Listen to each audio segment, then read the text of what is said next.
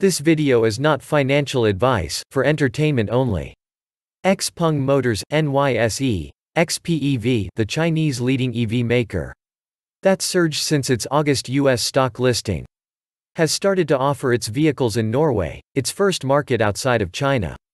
The first batch of XPeng G3 electric crossovers for Europe.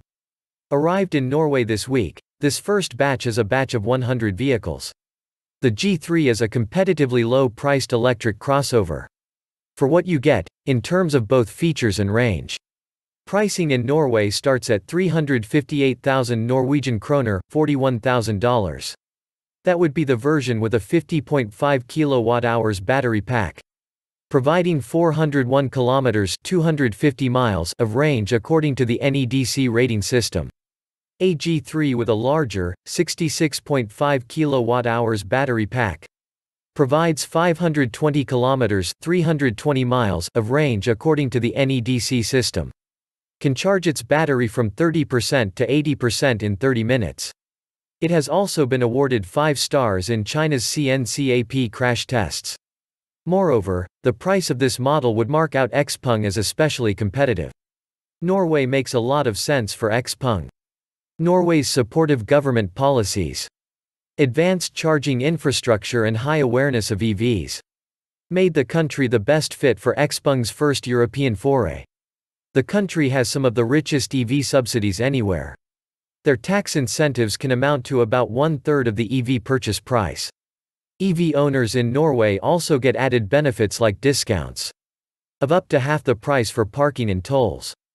Norway is the country where EVs have seized a dominant market share. 80% of new auto sales in Norway in November were plug-in vehicles. And 56% of the new sales were full electrics.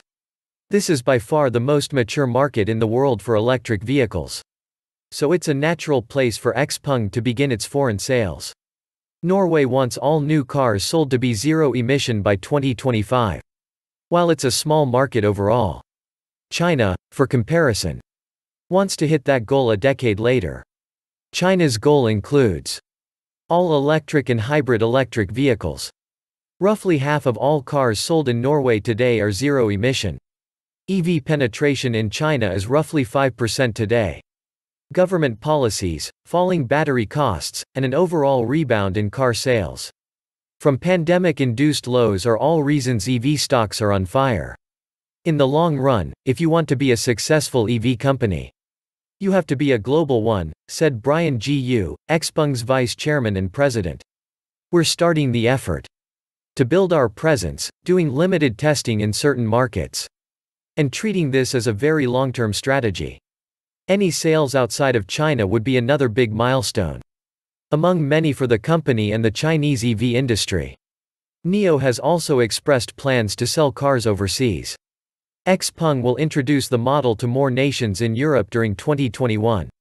XPeng launches in Europe as part of a long-term plan to establish itself in the Western EV market. XPeng is expecting success in Norway, and more broadly in Europe. And perhaps North America one day. This is my analysis for XPeng today.